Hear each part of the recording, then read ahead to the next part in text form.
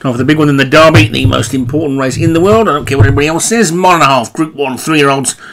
Albus Dumbledore, Dan Hughes, Altitude, Munas, Bad Manners, David Robertson, Fighting Edge, Paul Parsons, Kind of Magic, Jim Murray, Khyber Pass, Paul Rhodes, Meshfi Ryan, Dan Hughes, Paladin Straits, Jai Bermanstein, Shaw Grease, James Shea, Swinging Groom, and the White Knight for Martin Needham, Time of the Beast, Joshua Sutherland, Trap Miles, Darren Thompson, Tunbridge Wells, Paul Rhodes, and Wasily Kandinsky for Leon Van Rensburg. So 15 then, that's one of the smallest fields of the day so far. The rain is coming down. Well, that's not going to dampen anybody's enthusiasm. They're installed and ready to go in the derby. And away they go then. And it's a pretty level sort of break. Who's going to be the first one to take it up? Looks like the White Knight, the Grey might be interested in the lead. Also, Time of the Beast is up there as well. And kind of Magic Albus Dumbledore, another Grey, is to the four as well. We've got three Greys in this. But it's Time of the Beast who's gone off into the lead, and Joshua Sutherland is going to be hoping for a repeat performance from what we've just seen from Heart of Oak in the Oaks, because Time of the Beast is clearing the lead by four or five lengths, just like his stable companion was in the previous race. Wasily Kandinsky wide on the track is second, then Fighting Edge and Swinging Groom. Kind of Magic is after that one. Paladin Straits He's in that little group as well, looking towards the back. Altitude and Bad Manners at the back too, with Trap Miles and Sean Grease also towards the rear of the field.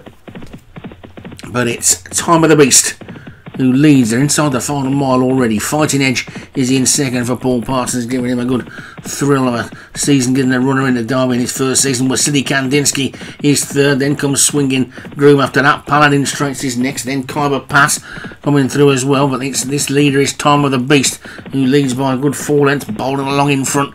The rest are quite happy to let him stay in the lead, it would seem. Fighting Edge is holding second, then Wasily Kandinsky and Khyber Pass, and then Paladin Straits, Tunbridge Wells is now trying to come through with a run round the outside. Also, kind of magic is wide on the track. Swinging Groom is tucked in with them. Albus Dumbledore is trying to get into it as well. But it's Time of the Beast who's still in the lead from Albus Dumbledore, who comes through into second. Then Tunbridge Wells and Paladin Straits. These four now being joined by Meshfi Ryan, who's coming through. They're the leading five. After that one, Fighting Edge, kind of magic. Wasily Kandinsky under pressure. Khyber Pass with work to do. I think we can probably forget the rest, although there is a James Shea almost out the back there that could probably finish quite well. It's Time of the Beast in the lead. Two and a half furlongs to go in the derby, and it's Time of the Beast from Tunbridge Wells in second. Albus Dumbledore and Meshfi Ryan, the two greys. Then Wasily Kandinsky and Paladin Straits.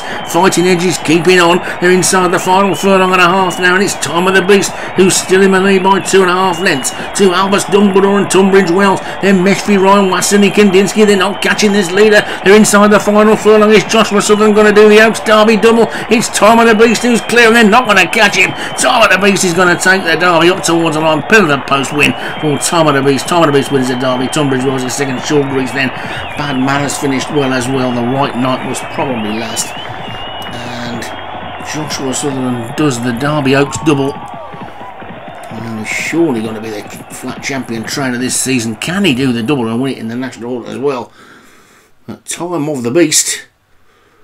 Time of the Sutherland is what it is, and Time of the Beast takes it pretty comfortably.